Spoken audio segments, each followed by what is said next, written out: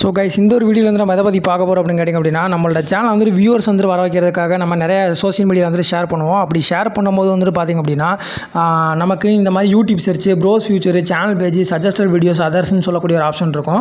முழுக்க முழுக்க வந்து நமக்கு எக்ஸ்டர்னல் சோர்ஸ் அப்படின்னு சொல்லக்கூடிய ஒரு ஆப்ஷன்லேருந்து நமக்கு வியூஸ் வந்தது அப்படின்னா நம்மளோட சேனல் வந்துட்டு பெருசாக வந்து மாண்டேஷன் வந்து கொடுக்க மாட்டாங்க. ஓகேங்களா ஸோ அதனால் யூடியூப் சர்ச் வழியாக வந்துட்டு உங்களோட சேனல் வந்துட்டு வியூஸ் வந்தது அப்படின்னா அது மூலமாக நீங்கள் ஃபோர் தௌசண்ட் வாட்ச் கெட் பண்ணிங்க அப்படின்னா உங்களோட சேனலுக்கு ப்ராப்ளம் வராது. ப்ரோஸ் ஃபியூச்சர் வழியாக வந்து வந்துட்டு உங்களுக்கு வியூஸ் வந்து அதில் ஃபோர் தௌசண்ட் வாட்ச் வரை ரீச் பண்ணிங்க அப்படின்னா உங்களுக்கு ப்ராப்ளம் வராது. சேனல் பேஜ் வழியாக வந்துட்டு உங்களோட சேனலில் ஃபோர் தௌசண்ட் வாட்ச் வரை ரீச் பண்ணி மாண்டர்ஷிப் பண்ணிங்க அப்படின்னா ப்ராப்ளம் வராது. சஜஸ்டட் வீடியோஸ் அப்படின்னு சொல்லக்கூடிய ஆப்ஷனில் இருந்து ஃபோர் தௌசண்ட் வாட்ச் வரை ரீச் பண்ணி அதுக்கப்புறமா வந்துட்டு நீங்கள் மாண்டர்ஷிப் பண்ணிங்க அப்படின்னா உங்களுக்கு ப்ராப்ளம் வராது.